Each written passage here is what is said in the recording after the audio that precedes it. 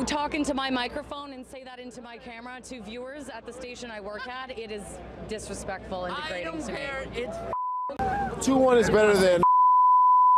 Twice within just a couple of minutes, two guys went right onto my microphone. Yes, I get this every single day, 10 times a day by rude. I don't care what you say. Okay, nothing. Maybe that's what I'll do when they find her. I'll, I'll go and f her. F her right in a The ACL. A victory, student. I did feel at times like a piece of meat.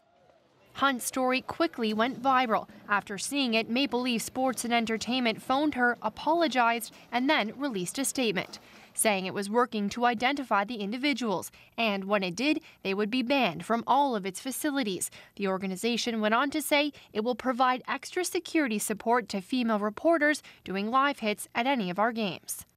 Ontario Premier Kathleen Wynne tweeted too, commending the station for speaking out using the hashtag It's Never Okay, the motto for the Ontario government's latest ad campaign combating violence against women.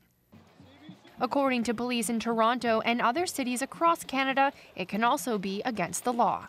You could end up with charges of cause of disturbance, breach of the peace, mischief, sexual harassment. It really depends on where the investigation took us.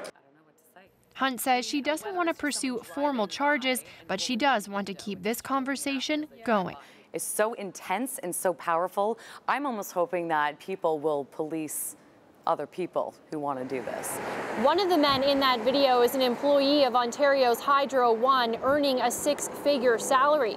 In a statement, that company says it's taking steps to terminate him. Peter? Chelsea Agro in Toronto tonight. Thanks, Chelsea.